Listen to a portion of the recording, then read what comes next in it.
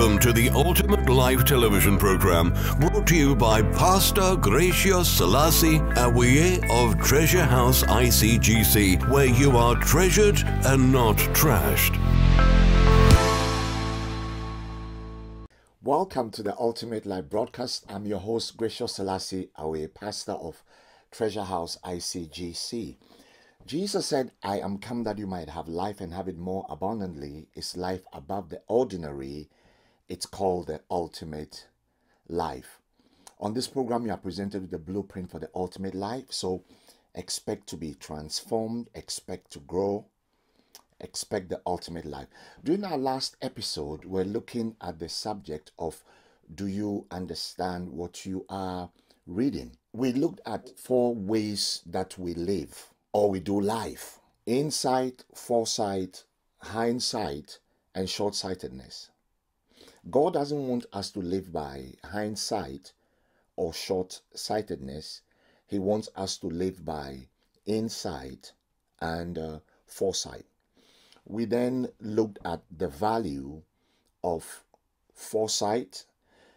We also looked at the value of uh, insight and then we looked at the tragedy of hindsight and the tragedy of short sightedness. In 2 Peter chapter 1, verse 8 to 10, it reads, For if you possess these qualities in increasing measure, they will keep you from being ineffective and unproductive, unproductive in your knowledge of our Lord Jesus Christ.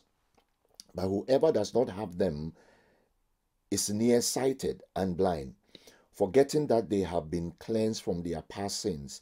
Therefore, my brothers and sisters, make every effort to confirm your calling and election. For if you do these things, you will never stumble. We have been saved not to sin, not to be selfish, but so we can grow. We are not meant to just be saved. Now I'm saved, going to heaven. No, you have to develop your life. God loves me, He saved me, I belong to Jesus. Now I'm going to do something with what's been given. Make of my life something awesome for the glory of God. Look at how radical Solomon is when he talks about short sighted people. Proverbs chapter 10, verse 13. It says, You'll find wisdom on the lips of a person of insight, but the short sighted needs a slap in uh, the face. He's saying they need a slap, they need to be jacked because if you just live for now, and just look at your little world, you'll never get anywhere. And eventually, in hindsight, you look back and regret. Some people need to be jagged out of short sightedness. Let's look at ways of developing insight and foresight in our lives. Number one, see it as more important than money. See it as more important than money. It will bring money into your life if you have insight and uh, foresight. But if you've got money without insight and foresight, you lose the money. Ecclesiastes chapter 9, verse 13 to 17, it says, I also saw under the sun this example of wisdom that greatly impressed me. There was once a small city with only a few people in it and a powerful king came against it, surrounded it, and built huge siege works against it. Now there, now there lived in that city a man poor but wise, and he saved the city by his wisdom. But nobody remembered that that poor man. So I said, Wisdom is better than strength. But the poor man's wisdom is despised, and his words are no longer heeded. The quiet words of the wise are more to be heeded than the shout of a ruler of fools. We need to go after insight and foresight more than we chase after money or possessions. Because once you've got that, everything else fits into place. I've seen people with wealth, with education, with possessions, but they lacked insight and foresight. And as a result, they saw trouble in their lives. They lost their business, they lost their marriage, they lost their spiritual lives. And the things that are most important, they place second place. And in the end, it causes the ruin of their lives. Number two, have a real passion and a desire to search for them. Remember, I said a real, have a real passion and a desire to search for them. Insight and foresight don't fall into your lap. You don't wake up one day and then boom, you have insight and foresight. It doesn't happen that way. In fact, a lot of Christians think insight and foresight come with age. The longer I'm a Christian, the wiser I will be. It doesn't work like that, mate. Sometimes age does not bring insight. Age comes all by itself. Whether you like it or not, you age. It actually brings with it wrinkles. I've seen Christians who have been around 20 to 25 years and they don't have insight and foresight. They grow in their religiosity and in a Pharisee spirit. Wisdom doesn't come, it comes when you've got a desire. Proverbs 20 1 to 5. Wine is a mocker and beer a brawler. Whoever is led astray by them is not wise. A king's wrath strikes terror like the roar of a lion. Those who anger him forfeit their lives. It is to one's honor to avoid strife, but every fool is quick to quarrel. Sluggards do not plow in season, so at harvest time they look but find nothing. The purposes of a person's heart are deep waters, but one who has insight, one who has insight draws them uh, out. That shows how valuable it is. Proverbs 3 21 to 23. My son, do not let wisdom and understanding out of your sight. Preserve sound judgment and discretion. There will be life for you, an ornament to grace your neck. Then you will go on your way in safety and your foot will not stumble. In other words, it will keep you from hindsight. The, the painful looking back that says, Why did I do this? Proverbs 23 23. Reading from the Message Bible. I love this translation. It says, Buy the truth, don't sell it for love or money. Buy the truth, buy the truth. Don't sell it for love or money. Buy wisdom, buy education, buy insight. In other words, pay the price emotionally and effort. That's how you get it. Don't think it just comes. How many of you today say, I need insight, I need foresight? Well, beloved, it's not just going to come. You've got to desire it, you've got to pursue it, you've got to search for them. Number three, be careful in your choice of closest friends.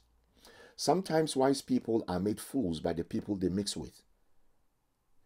People that you hang around can affect you even though you are smart. Book of Acts, chapter 13, verse 6 to 9. It says, They traveled through the whole island until they came to Paphos. There they met a Jewish sorcerer and false prophet named Bar Jesus, who was an attendant of the proconsul Sergius Paulus. The proconsul, an intelligent man, sent for Barnabas and Saul because he wanted to hear the word of God.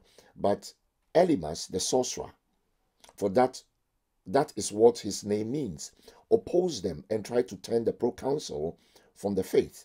Then Saul, who was also called Paul, filled with the Holy Spirit, looked straight at Elymas and uh, said, You need to be very careful who is close to you. Who is your relative? Because they could rob you of insight and foresight. Who is speaking into your life? Whose voice are you listening to? I'm talking about your commitment to God, about your serving in the house, about your giving, about your walk with God, about uh, churches in general. Be careful when people even criticize other churches because sooner or later they'll start they'll start criticizing you. Proverbs chapter uh, 7, verse 4 and 5. Say to wisdom, You are my sister, and to insight, You are my relative. They will keep you from the adulterous woman, from the wayward woman with her seductive uh, words. When you've got insight, the people around you don't easily lead you astray. Why? Because you know. Hang on a minute. This is not what it looks like. Be very careful of people around you who pay you flattery compliments. There is a very fine line, and we need to be very careful. Maybe I should have married that person. They make me feel so special. No, don't go down that slippery road. It will lead to trouble, it will lead to disgrace, it will lead to humiliation, complications, and embarrassment. A person without insight and foresight ends up there in hindsight with trouble. And we end up having to carry and work with you and pick up the pieces when we could be progressing as the people of God. Number four, saturate yourself in the word of God. Jeremiah 15 16.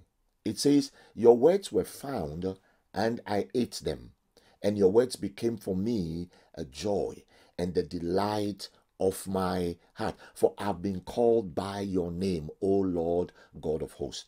Most of us expect the church and others to spoon feed us.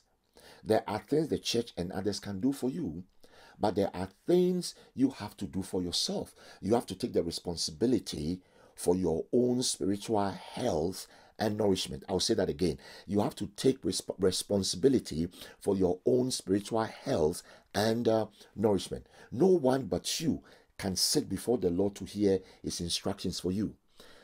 Jesus' words to Martha rings true as he speaks to you and me. In Luke chapter 10, uh, verse 41 and 42, he says, Martha, Martha, you are worried and bothered about so many things, but only one thing is necessary. For Mary has chosen the good part, which shall not be taken away from her. God's word, the Bible, is crucially important to our everyday lives. And don't think obscure religious knowledge here. Think food, think water, think air. You can't survive without God's insight and wisdom. The Word of God contains insight, gives us foresight and wisdom. And we can have a successful life without regret if we pay attention to the Word. When the Indian Ocean uh, tsunami took place in 2004, there were people at the beach who were warned by their children when the water receded because they learned about it at school that when that happens to the sea, a tsunami is coming. They had insight and foresight into what was happening. Some parents listened and left the beach. Others laughed and said, Oh, this, these are children. What, what, what do they know? What, what, what are they talking about? The Word of God paints a picture of everything that's happening in our world and gives us warnings. The lockdown was a warning that there is a tsunami of financial trouble coming. And, and you mustn't live in the world thinking you are all secured because this world is not very secured. This is a very, very troubled world. When you read the Bible, it will paint a picture for you. So I want to encourage you to get into the word. Get into the word. Psalm 19, verse 7 to 8. It says, The law of the Lord is perfect, refreshing the soul.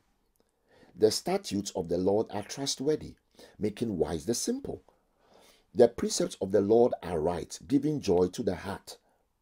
The commands of the Lord are radiant, giving light to the eyes. I love God's word. Psalm 119, verse 98 to 100. He says, Your commands are always with me and make me wiser than my enemies.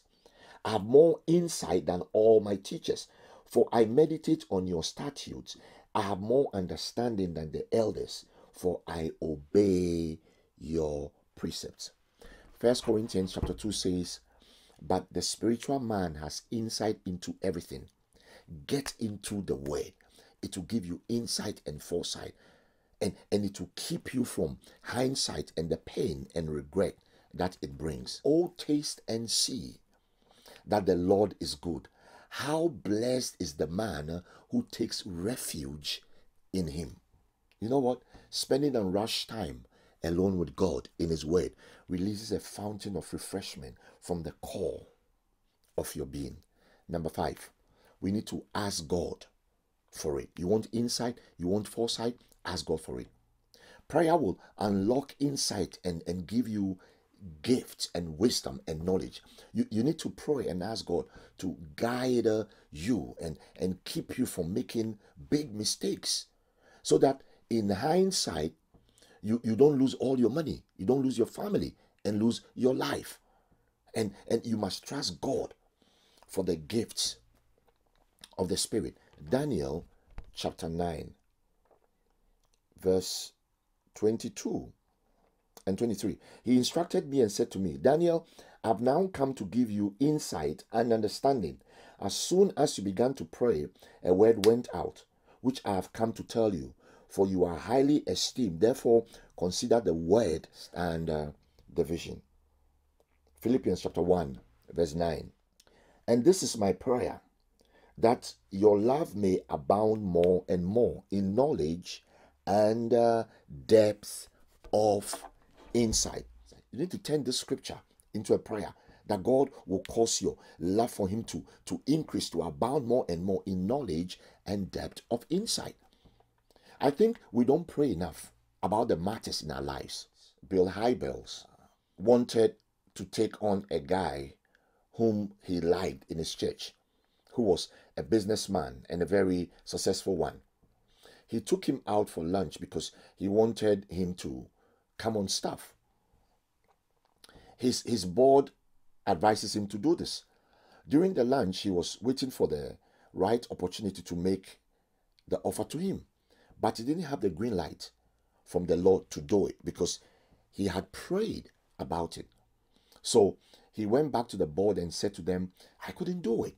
And everyone said, Why didn't you?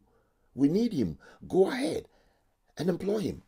But he felt a pushback, a restraint.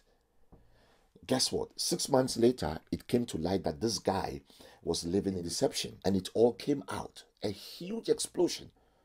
He was embarrassed and disgraced. He's been totally disqualified from ministry in any church. And if he had been on their staff, he would have damaged that large uh, world influential church. If you know anything about Willow Creek Community Church, it's a very influential church.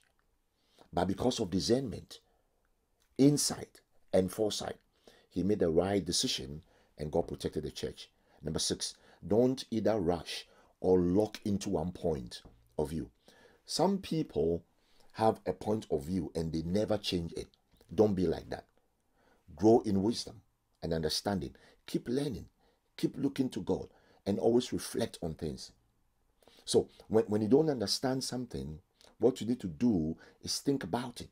Don't rush into something and just grab everything new. We need to be careful, especially with social media because there's a lot of influence coming from social media. Don't lock into one point of view. Dwell on the thing that you don't understand and, and, and reflect on it and ask God to give you insight. There are a lot of things that are happening in our world and people don't have insight into them.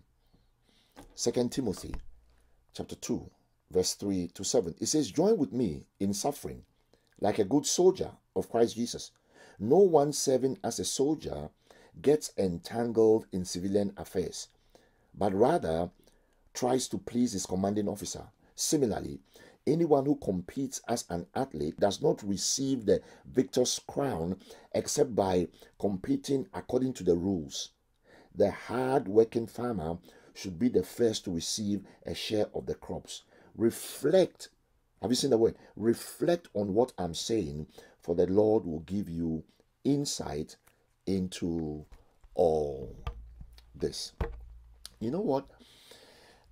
Our maturity as believers is not determined by how long we have been uh, in church or how well we pray or the number of scriptures we quote is by discernment is by having our senses exercised.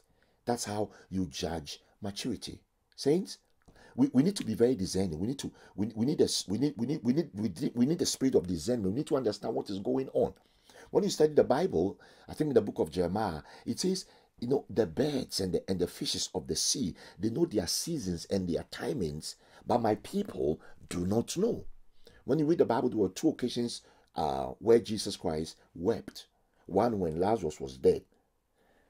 The, the second time was when he overlooked Jerusalem and he wept over them because they, they, they didn't understand their season. They didn't know the timings of God for them.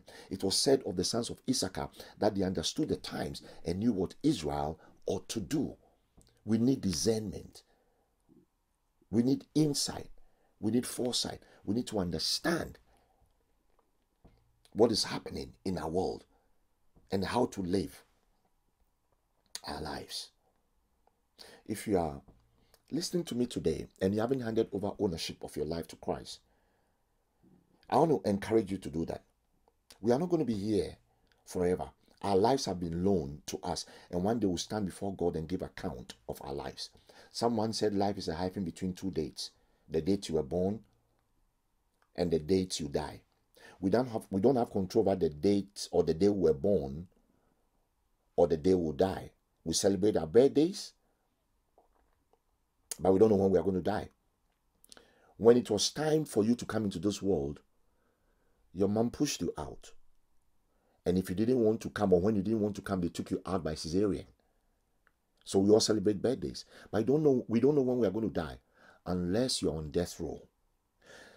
So we don't have control over these two dates. The only date, or what the only thing you have control over is the hyphen, the dash in between. You can either squander it or invest it. So let's use it wisely. So I want to encourage you to give your life to Christ. I want to pray a prayer and I want to include in that prayer. Say this after me Lord, today I recognize that I'm a sinner who needs a Savior.